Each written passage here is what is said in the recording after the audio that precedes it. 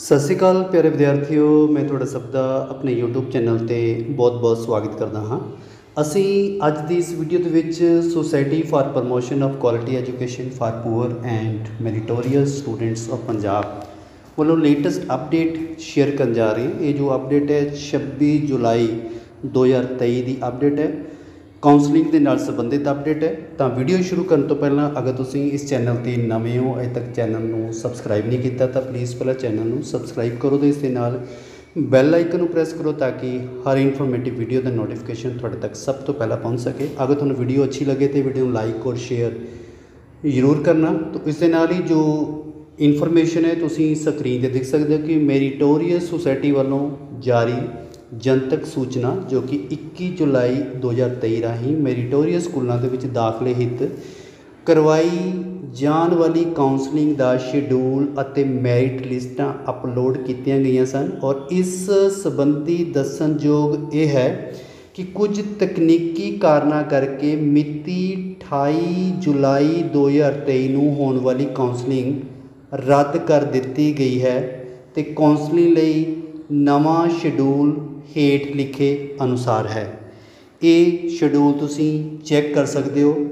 ਪਹਿਲਾ ਜੋ ਨੰਬਰ ਹੈ, ਅੱਜ ਵਾਲਾ ਕਿ ਜੋ 27 ਤਰੀਕ ਦੀ ਕਾਉਂਸਲਿੰਗ ਹੈ, ਜੋ ਅੱਜ ਕਾਉਂਸਲਿੰਗ ਹੋਣੀ ਹੈ, ਇਸ ਦੇ ਵਿੱਚ ਜਿਹੜਾ ਸੀਰੀਅਲ ਨੰਬਰ ਹੈ 934 ਤੋਂ ਲੈ ਕੇ 1600 ਤੱਕ ਜਿਹੜਾ ਦਾ ਸੀਰੀਅਲ ਨੰਬਰ 'ਚ ਨਾਮ ਆਂਦਾ ਲੜਕੀਆਂ ਦਾ ਉਹ ਅੱਜ ਕਾਉਂਸਲਿੰਗ ਕਰਵਾਉਣਗੇ ਔਰ ਲੜਕਿਆਂ ਦਾ ਨੰਬਰ ਹੈ 249 ਸੀਰੀਅਲ ਨੰਬਰ ਤੋਂ ਲੈ ਕੇ 700 ਸੀਰੀਅਲ ਨੰਬਰ ਤੱਕ ਲੜਕੇ ਜਿਹੜੇ ਹੈ ਅੱਜ ਕਾਉਂਸਲਿੰਗ ਕਰਵਾਉਣਗੇ।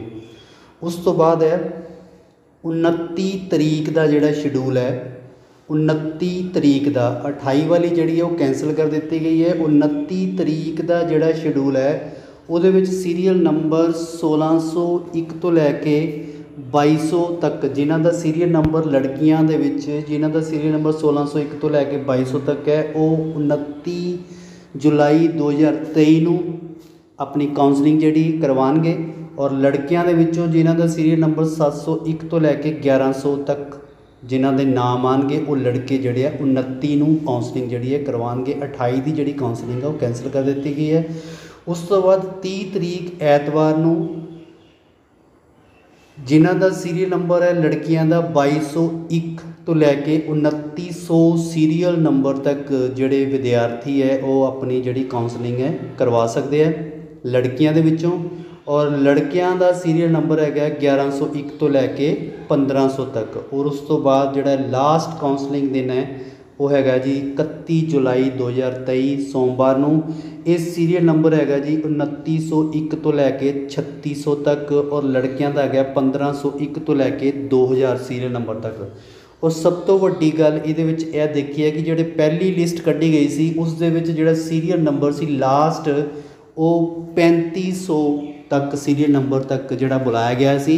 ਹੁਣ ਜੋ ਲੇਟੈਸਟ ਨੋਟੀਫਿਕੇਸ਼ਨ ਦੇ ਵਿੱਚ ਸੀਰੀਅਲ ਨੰਬਰ 3600 ਤੱਕ ਬੁਲਾਇਆ ਗਿਆ, ਯਾਨੀ ਕਿ 100 ਜਿਹੜੇ ਸਟੂਡੈਂਟ ਹੈ, ਹੋਰ ਪਲੱਸ ਕੀਤੇ ਗਏ ਹੈ।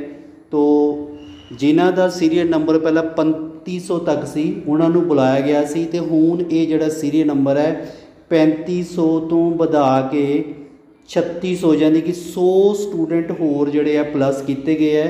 ਤਾਂ ਇਹ ਸਟੂਡੈਂਟ ਆਪਣਾ ਸੀਰੀਅਲ ਨੰਬਰ ਦੇਖ ਕੇ ਤੇ ਅਗਰ ਉਹਨਾਂ ਦਾ 3600 ਸੀਰੀਅਲ ਨੰਬਰ ਤੱਕ ਅਗਰ ਨਾਮ ਆਂਦਾ ਤਾਂ ਉਹ ਸੋਮਵਾਰ ਜਿਹੜੀ ਆਪਣੀ ਜਿਹੜੀ ਕਾਉਂਸਲਿੰਗ ਹੈ, ਉਹ ਕਰਵਾ ਸਕਦੇ ਆ ਬਾਕੀ ਨੀਚੇ ਦੱਸਿਆ ਕਿ ਦਾਖਲਾ ਮਿਲਣ ਦੀ ਸੂਰਤ ਵਿੱਚ ਵਿਦਿਆਰਥੀਆਂ ਦੀ ਕਾਉਂਸਲਿੰਗ ਵਾਲੀ ਮਿਤੀ ਨੂੰ ਹੀ ਦਾਖਲਾ ਮਿਤੀ ਮੰਨਿਆ ਜਾਵੇਗਾ। ਵਿਦਿਆਰਥੀਆਂ ਨੂੰ ਹਦਾਇਤ ਕੀਤੀ ਜਾਂਦੀ ਹੈ ਕਿ ਉਹ ਕਾਉਂਸਲਿੰਗ ਤੋਂ ਬਾਅਦ ਆਪਣੇ ਅਲਾਟ ਕੀਤੇ ਸਕੂਲ ਦੇ ਨਾਲ ਰਾਬਤਾ ਕਾਇਮ ਕਰਦੇ ਹੋਏ ਅਗਲੇ ਦਿਨ ਹੀ ਸਕੂਲ ਦੇ ਵਿੱਚ ਰਿਪੋਰਟ ਕਰਨਾ ਯਕੀਨੀ ਬਣਾਣਗੇ ਬਾਕੀ ਜਿਹੜੀਆਂ ਸ਼ਰਤਾਂ ਉਹ ਪਹਿਲੇ ਵਾਂਗ ਹੀ ਰਹਿਣਗੀਆਂ, ਜਿਹੜਾ ਪਹਿਲਾ ਨੋਟੀਫਿਕੇਸ਼ਨ ਜਿਹੜਾ ਆਊਟ ਕੀਤਾ ਗਿਆ ਜੀ।